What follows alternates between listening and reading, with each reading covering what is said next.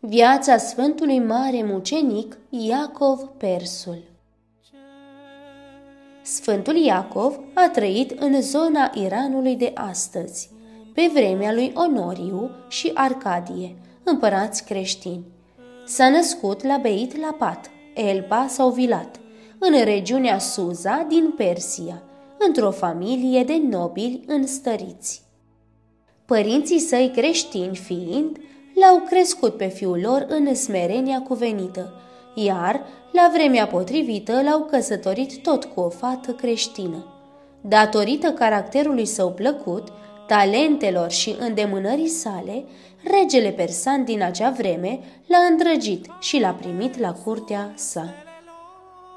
Orbit de onoruri, de lingușeli și de plăcerile deșarte ale acestei lumi, Iacov s-a lepădat de Hristos și a devenit adept al cultului păgân al monarhului.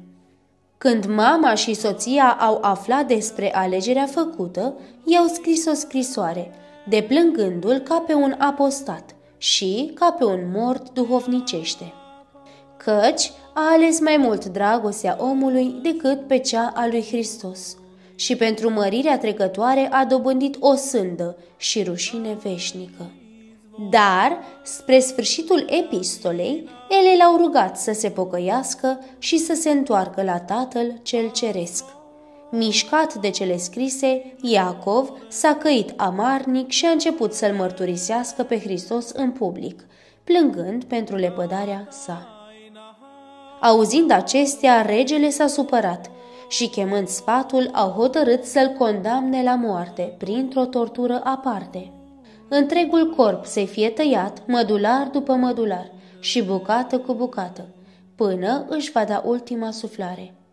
Înainte de a fi împlinite acestea, Sfântul Iacob s-a rugat zicând, Doamne, Dumnezeul meu, ascultă-mă pe mine robul tău și dăm tărie și putere în ceasul acesta, pentru ca să rapt durerile și să-mi plătesc cu sângele meu greșală căci mă lepădasem de tine, făcătorul și stăpânul meu. Acum îmi pare rău de aceasta și mă întorc la tine, Dumnezeul meu. Mărturisesc prea sfânt numele tău și îmi pun sufletul meu pentru tine. Iar tu, Doamne, trimite-mi ajutorul tău spre răbdare, ca să vadă vrăjmașii tăi și să se rușineze, căci tu, Doamne, m-ai ajutat și m-ai mângâiat. Călăii au îndeplinit cuvânt cu cuvânt porunca tiranului păgân tăindu-i pe rând toate cele zece degete, apoi mâinile, picioarele și în cele din urmă capul. Din rănile lui a început să se răspândească o mireasmă plăcut mirositoare ca de chiparos.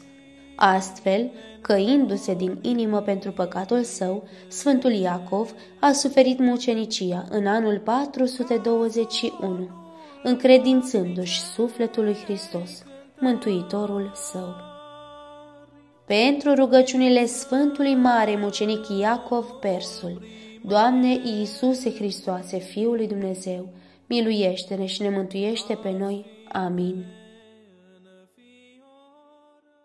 Fă misiune împreună cu noi. Te invităm cu drag să te înscrii la